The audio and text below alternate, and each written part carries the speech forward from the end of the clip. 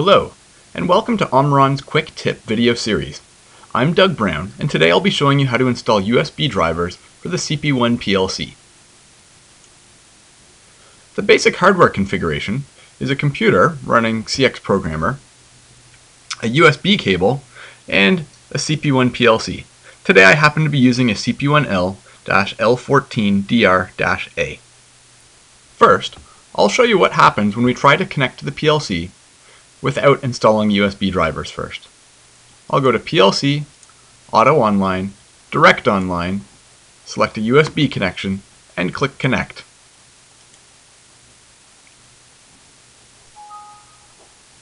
We very quickly get a failed to connect the PLC message.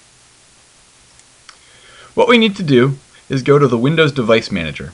I'll hit the Windows key, type Device Manager, and click Enter.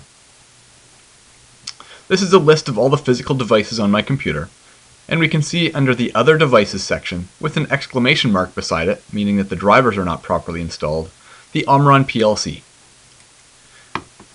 To install the drivers, I right-click, select Update Driver Software, select Browse My Computer for driver software, point it to C colon, Program Files x86, Omron Drivers USB.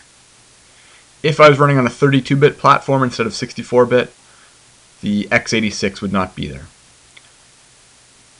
I want to check the include subfolders and click Next.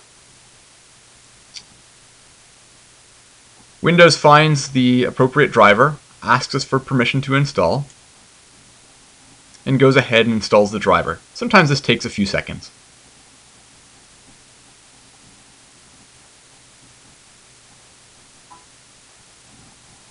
We can see now that the device was successfully installed. I'll click Close.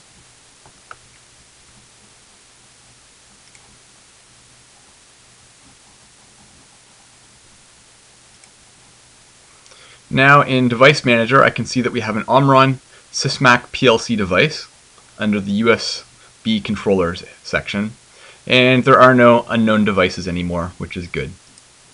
Now I'll go back to CX Programmer and I'll repeat the process. PLC, Auto Online, Direct Online, USB connection, and I'll click Connect.